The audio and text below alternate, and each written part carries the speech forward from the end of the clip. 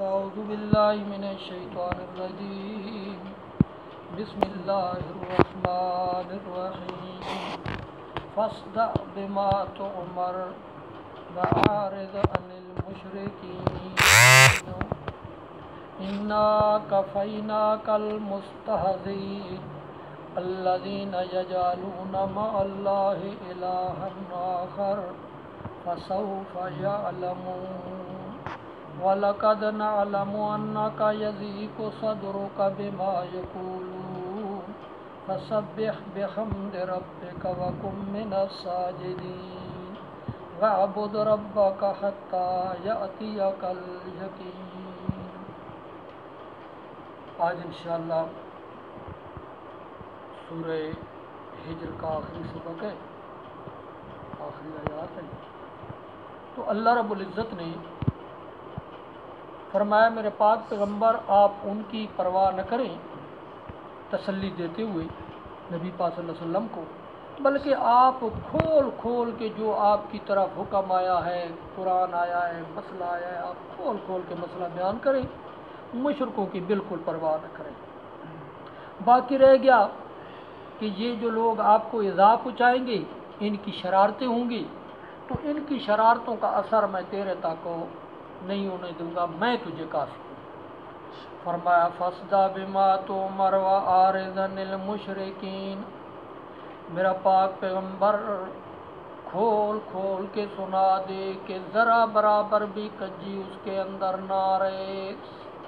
صد اس کا معنی ہوتا ہے کسی چیز کو اس طرح توڑنا کہ وہ پھر جڑ نہ سکے، علیحدہ علیحدہ ہو جائے۔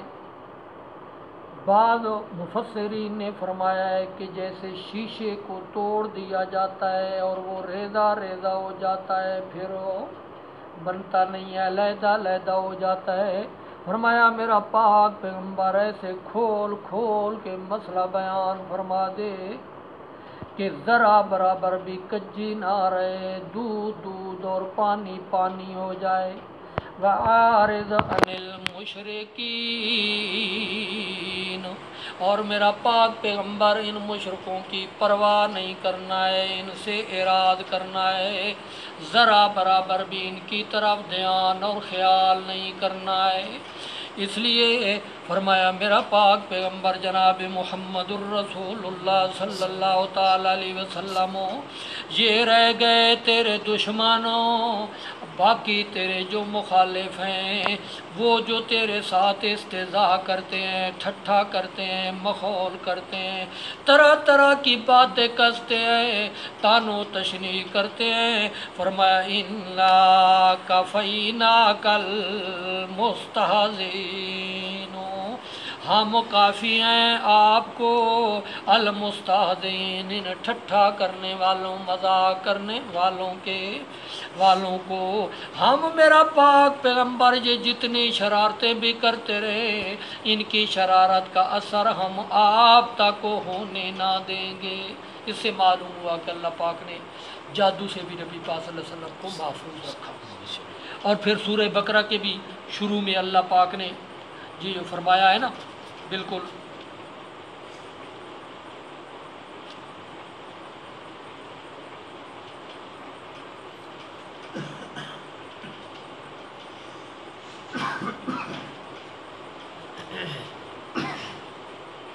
فرمایا میرا پاک پیغمبر، یہ جو ہے نا آپ کے ساتھ جیسی بھی چالیں چلیں گے نا، میں سننے والا، دیکھنے والا ہوں اور میں آپ کو کافی ہوں۔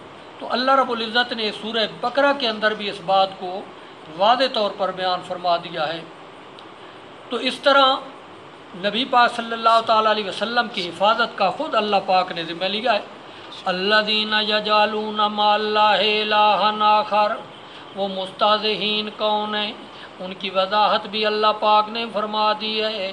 اللہ دین یجالون ما اللہ الہ آخر، وہ لوگ ہیں جو بناتے ہیں اللہ کے ساتھ، ٹھہراتے ہیں اللہ کے ساتھ الہ آخر اور الہ معبود۔ انہوں نے اللہ پاک کو بھی مشکل کشا بنا رکھا ہے۔ دیکھو نہ جائیں ما اللہ۔ وہ کہتا ہے مولوی کہتے ہیں وہ تو اللہ پاک کو مانتے نہیں تھے۔ اللہ پاک نے ماں کا لفظ لگایا ہے، اللہ کے ساتھ ساتھ ہو۔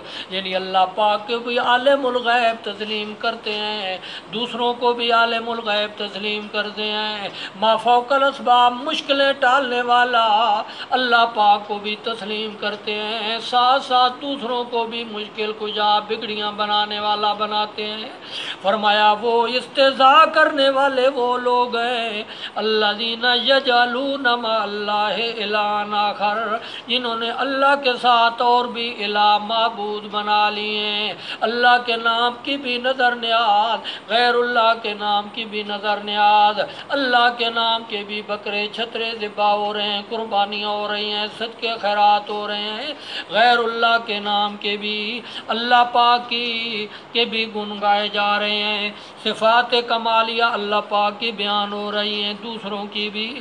جب آدمی طواف کرتا ہے بیت اللہ کا، وہاں پر پڑھتا ہے، اللہم لبیک اللہم لبیک لا شریک اللہ کا لیکن جہاں سلطان بہو کی قبر کے بھی طواف ہوتے ہیں۔ وہاں بھی تلبیہ انہوں نے بنا دیا ہے، جو بیت اللہ کے اندر تلبیہ تھا، ادھر بھی انہوں نے بنا دیا ہے۔ حق بہو، بے شک بہو، حق بہو، بے شک بہو۔ ادھر یہ بھی پڑھ رہے ہیں اور طواف کر رہے ہیں۔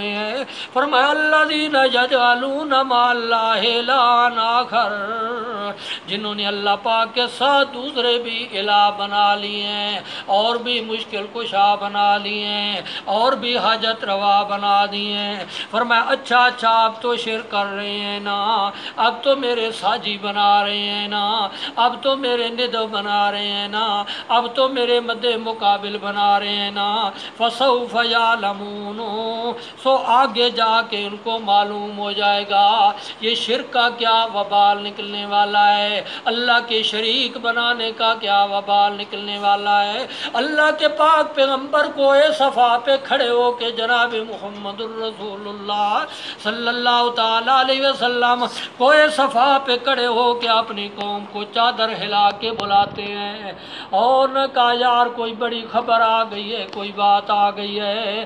حتیٰ کہ جب بلایا آ گئے۔ کوئی آپ آ گئے۔ کسی نے اپنا کاسج بھیج دیا ہے۔ اللہ کے پاک پیغمبر نے فرمایا، پہلے اپنی صداقت کی دلیل پیش کی۔ مبلغ ہیں، اپنی صداقت کو پیش کر رہے ہیں کہ میں نے کبھی جھوٹ بولا ہے کہ کوئی نہیں۔ سب نے یک زباں ہو کے جواب دیا ہے۔ ہمارا تجربہ گزر چکا ہے۔ اتنے چالیس سال ہم نے دیکھا ہے، آپ نے کبھی بھی اپنی زبان سے جھوٹ ہو۔ کبھی بھی آپ نے جھوٹ نہیں بولا۔ اللہ کے پاک پیغمبر فرماتے ہیں وہ لوگوں جب میں مخلوق کے معاملے میں جھوٹ نہیں بولتا، مالک کے معاملے میں کیسے جھوٹ بولوں گا؟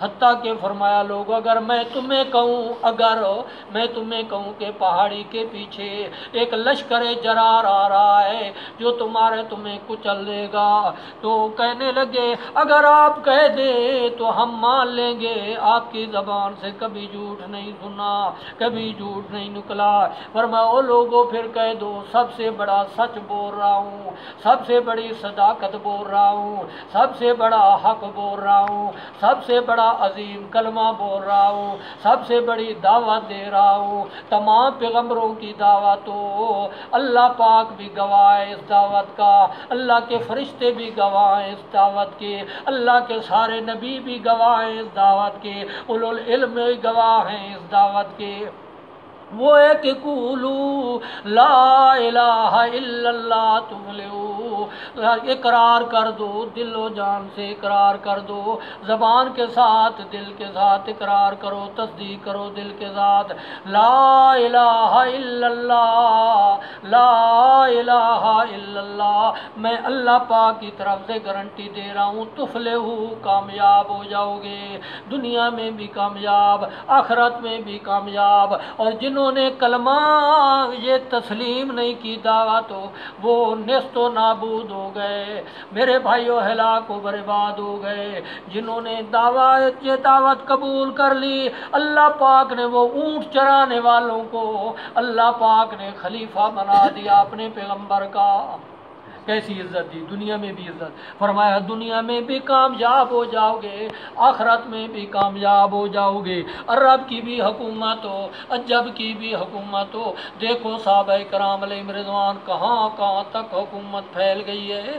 عطا کہ فرمایا، میرا پاک پیغمبر ان قریب جان لیں گے، باقی رہ گئی ان کی باتیں۔ وَلَقَدْ نَعْلَمُ، ہم اچھی طرح جانتے ہیں، میرا پاک پیغمبر مجھے اپنی ذات کی قسم ہے۔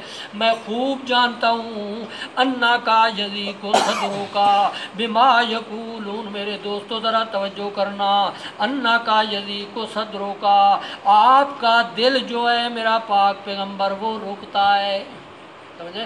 آپ کے دل میں غم آ جاتا ہے، آپ کا دل رک جاتا ہے، آپ کا دل تنگ ہو جاتا ہے۔ کس سے؟ بما یقولون، وہ جو باتیں کرتے ہیں، وہ جو تان و تشریح کرتے ہیں، وہ جو باتیں تیرے خلاف کرتے ہیں۔ کبھی کون سی بات کہہ دی، کبھی کون سی بات کہہ دی۔ کبھی کہتے ہیں بے دین ہو گیا، کبھی کہتے ہیں یہ تو مجنو یعنی سٹایا ہو گیا۔ کبھی کہتے ہیں اس پہ تو جادو ہو گیا۔ کبھی کہتے ہیں شاعر ہے مجنو ہے، یہ ہے، وہ ہے۔ اور طرح طرح کی باتیں، اور طرح طرح کے بوتان۔ بما یقولون، جو کچھ یہ کہتے ہیں، میرا پاک پیغمبر، مجھے اچھی طرح پتہ ہے، میں تیرے دل کی حالت کو جانتا ہوں۔ آپ کے دل میں غم ضرور آتا ہے۔ آپ کے دل میں، میرا پاک پیغمبر، آپ کا دل رک جاتا ہے کہ میں خیر خائیاں کرتا ہوں۔ یہ کیا کرتے ہیں؟ کوڑا میرے اوپر ڈال دیتے ہیں۔ میں خیر خائیاں کرتا ہوں، یہ مجھے پتھر مارتے ہیں۔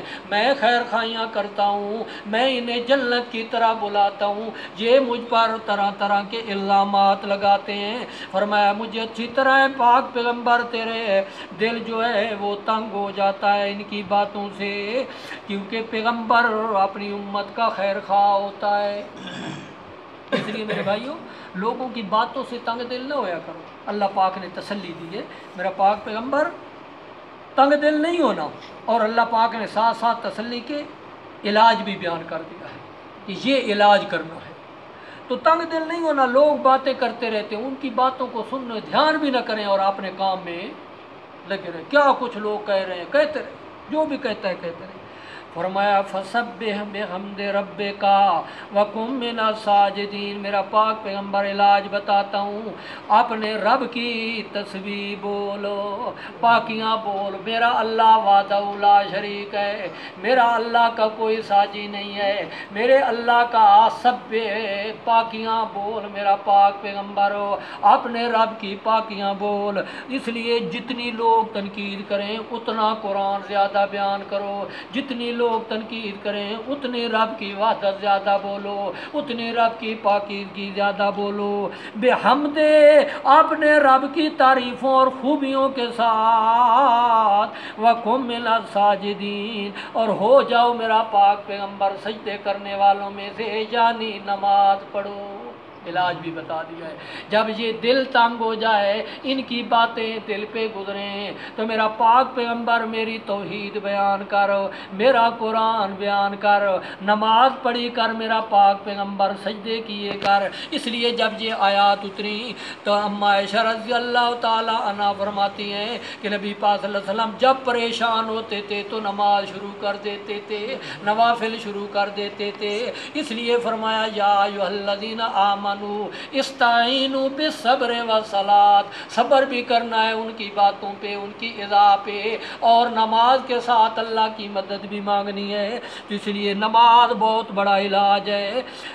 فصبح بحمد رب کا رقم ملا ساجدین اور ہو جاؤ میرا پاک پیغمبر سجدے کرنے والوں میں سے سجدہ کرو۔ فرمایا وعبد ربا کا عبادت کرتے رہے میرا پاک پیغمبر اپنے رب کی، عبادت کرتے رہے اپنے رب کی۔ حتیٰ یاتیہ کل یقین حتیٰ کہ وہ یقینی بات موت آ جائے۔ یعنی اپنی آخری گھڑیوں تک اللہ کی عبادت کرتے رہے، نمازیں پڑھتے رہے اپنے اپنے اللہ کی تسبیحات کرتے رہے، قرآن بیان کرتے رہے۔ میرے پاک پیغمبر واپد ربا کا۔ عبادت کرتے رہے اپنے رب کی۔ حتیٰ یاتیا کل یقین۔ یہاں تک کہ آپ پہ موت آ جائے۔ موت تک اللہ کی عبادت کرتے رہے۔ کتاب؟ یہ کہتے ہیں قبروں میں بھی نماز۔ موت تک کیا کرنی ہے؟ عبادت کرنی ہے۔ تو اس لیے میرے بھائیوں یہ ہے مومن کا بھی، ہمیں بھی سمجھایا گیا اور یہ تسلی بھی ہے نبی پاک صلی اللہ علیہ وسلم کے لیے۔ تو خلاصہ یہ ہے کہ اللہ رب العزت نے قرآن کی ترغیب دی، پھر توحید کا دعویٰ اور اس دعوے کے دلائل بیان کی گئی۔ آخر میں اللہ پاک نے اپنی صفت رحمت اور غضب کو بیان کیا۔ صفت رحمت کا نمونہ بھی پیش کیا اور صفت غضب کے بہت سارے نمونے پیش کیے نام ماننے والوں پر کیسے کیسے گرفت ہوئی، ان کے حالات کو اللہ پاک نے بیان کیا۔ پھر اللہ رب العزت نے قیامت کا تذکرہ کیا اور نبی پاک صلی اللہ تعالی علیہ وسلم کو درگزر کرنے کی تلقین فرمائی۔ اور پھر فرمایا، میرا پاک پیغمبر، آپ ان لوگوں کی کیا پرواہ کرتے؟ ہم نے تو آپ کو عظیم قرآن یعنی سورہ فاتحہ عطا فرمائی ہے۔ لا تمدنہ آئی نئی کا علامہ متا نہ بے ہی ادواج جب ہوں جو لوگوں کو مال و متا مل رہا ہے، اس کی طرح آنکھ اٹھا کے بھی میرے پاک پیغمبر نہ دیکھ رہا ہاں آپ نے کیا کرنا ہے؟ آپ نے یہ جو مومن ساتھی ہیں نا، ان پر اپنے بازوؤں کو یعنی ان کے ساتھ شفقت اور محبت کا معاملہ کرنا ہے۔ باقی میرے پاک پیغمبر، آپ ان کے سامنے اعلان کر دیں کہ لوگوں میں تو کھلم کھلا ڈرانے والا ہوں۔ کھلم کھلا، باقی رہ گیا اسی طرح عذاب ہوگا جیسے من، مکتا سے مین تقسیم کرنے والوں نے جنہوں نے قرآن کو ٹکڑے ٹکڑے کر لیا۔ فرمایا، تیرے رب کی قسم، میرا پاک پیغمبر ضرور بضرور سب سے پوچھ ہوگی، جو کچھ وہ کرتے رہے۔ باقی آپ کی ڈیوٹی کھول کھول کے بیان کر دینا ہے، آپ کسی کی پرواہ نہ کریں۔ باقی یہ آپ کو ہدایت پہنچائیں گے، شرارتیں کریں گے۔ تو میں کافی ہوں، میں ان کی شرارتوں کا سر آپ پر ہو نہیں ہونے دوں گا۔ تو فرمایا، میرا پاک پیغمبر رہ گئی یہ بات کہ وہ جو باتیں کرتے ہیں تو آپ کا دل تنگ ہو جاتا ہے ان کے۔ یہ نہ کیا کرے میرا پاک پیغمبر، آپ ان کی طرف سے نا یہ نہ کریں، بلکہ آپ میری تسبیح اور میری حمد بیان کرتے رہا کریں اور نماز پڑھتے رہا کریں اور میری عبادت کرتے رہیں یہاں تک کہ آپ کا آخری وقت ہو آ جائے۔ یہ تھا میرے بھائیوں، خلاصہ سورہ ہجر کا۔ اللہ تعالیٰ قرآن